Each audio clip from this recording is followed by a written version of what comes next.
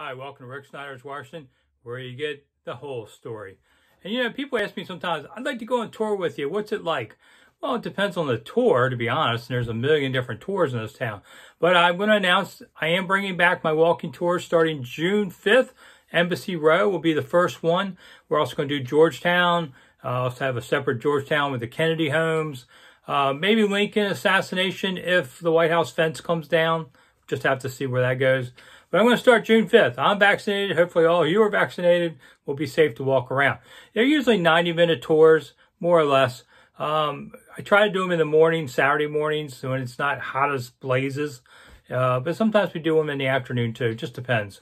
When you see 100 degrees on the clocks, not everybody's happy about that, including me. Uh, so you wear good shoes. Don't bring a dog. Uh, you know, we we walk and talk and walk and talk. Don't stand for long. I found I can walk forever. I can't stand for five minutes.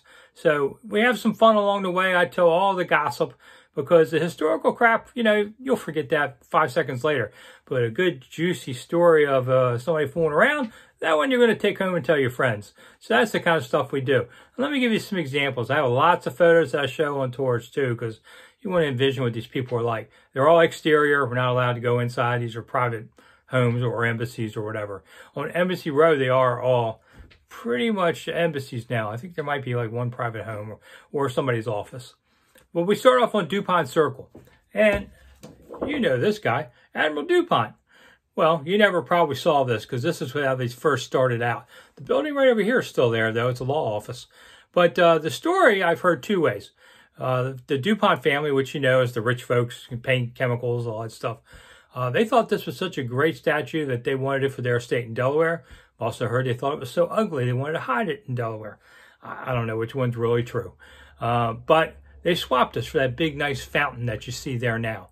So that's why the DuPont Circle doesn't have him anymore.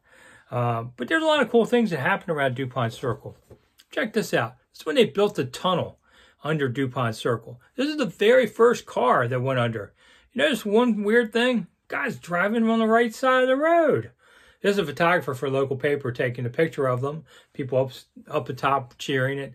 They they built the tunnel and they actually made it a um, a bomb shelter at one time in case the Russians nuked us. We could hide under there. that, that worked out well, right? Weird stuff. Here's one of the 68 rides. Look at this, man. This looks like something straight out of Belfast or something. You know, that's National Guard. You know, here's the old, I mean, this looks like something in Europe you'd see after the wars. Uh, but this was, you know, thing, DuPont Circle was pretty crazy during the Vietnam era because it was a big area. There's eight, there's, I'm sorry, there's 10 roads that go into DuPont Circle.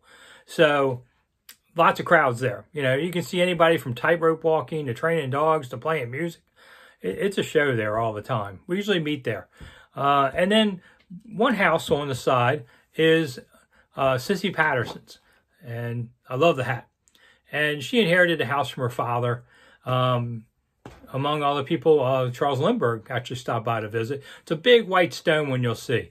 And she was a newspaper heiress, uh, took over a paper here in town that's now gone. Got a lot of women their first starts in the business by going there.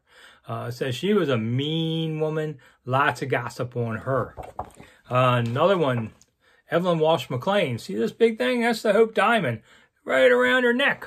She wore it every day. Her house is, is down the street, and that diamond is now in the Smithsonian. You can see it there. Not nearly as big, you know, 47 carats. It's not big. Well, I mean, it's like, you know, I figured it'd be like, you know, a hunk of rock, like a baseball. Um, she also has her demons. Man, these people threw some parties. They went through some money. Basically, a lot of billionaire money went away. They had parties for 2,000 people. We'll see their home. It's now an embassy. Um, one of my favorite characters here is Alice Roosevelt. And you can see Alice right here. She was called the other Washington Monument. Here was her kind of coming out dress. Remember when we were talking about whether it's blue or gold a few years ago? That's Alice Blue. And it's blue. I don't know where you people are seeing gold from. But anyway, Alice was, was a real hellion. She was Teddy Roosevelt's first child. Uh, unfortunately, her mother and uh, and her mother, uh, grandmother, I should say, both died pretty much the day she was born. And Teddy had her go live with his sister for a while, but eventually the Roosevelts all uh, gathered for the White House years. And Teddy, you know, they, they all, the Roosevelts were an awesome family. I talk a little bit about all these people. They all served in the wars, did some really great things here. There's, there's Teddy uh, Jr., as they called him. And you know the weird part about Teddy Roosevelt? He hated the name Teddy. He liked being called TR. The stupid bear, he didn't make any money off that bear. He hated being called Teddy. But Alice, we talk about a lot. You know, she actually got married at the White House. This is her dress that I found. 10,000 people came outside the White House just to see her. And uh, then she eventually married Nicholas Longworth. Hmm, that name sounds familiar. Big building up on Capitol Hill named for him. Uh, they weren't the closest of married couples, but after 19 years, Alice was pregnant. Man, it's a miracle. Uh, we found out in Alice's diaries after she passed away that uh, she had an affair with William Borah, who was a senator from Idaho, richest man in the Senate. Uh, but nobody knew this, including the child uh, um, on there. They, she didn't. She kept that secret all the way, which is amazing because Alice Roosevelt was known as the king, queen of gossip in this town. Um, here she is in her later years. She said she wore this big hat to keep that rogue elephant LBJ from kissing her. Well, there she is with LBJ. He's not kissing her, so I guess it worked out for her. On there, so really cool. There's a lot of great gossip stories I talk about on this. Oh, a lot of presidents you'll see, you know, just like Herbert Hoover has a house. Back then, five presidents would go by. Uh, hey, Woodrow Wilson throwing out first pitch. You know, gotta love baseball guy. He lived over there. In between them is this guy now, Jeff Bezos. Uh, he's been, they finally got his house finished after like two years of renovations. I don't see Jeff out watering the garden, but, uh, you know, he lives there. We do not go by the Obama house because there's a cop sitting at the end of the street who says, go away. And I'm not going to mess with them. You know, there's lots of other things too. You know, there was a terrorist bombing uh, at Sheridan Circle right there. And here's the aftermath. Here's it. It was a Chilean exile, Orlando Letelier, uh, was bad mouthing the Chilean government and they've proven that the Chilean government put a hit on them right there at the circle. You can we'll see the spot in the monument, all that. There's so many of these things that are around there. It's a lot of fun. Like I said, we just keep hitting. I think we hit like 15 spots or so in 90 minutes. So um, we go leisurely paced. I'm not going to wear you out mostly because I can't walk fast enough. We'll go up to Spanish Steps, things like that. There's tons of things around there. And that's true of all my tours. I do it so that we start and finish in the same place. We're near a metro stop. You know, you learn a lot of local history, and then you go eat. You know, if you want to bring me with you, that's fine too. But not on this one. We're going to do some uh, other interesting tours later on this summer.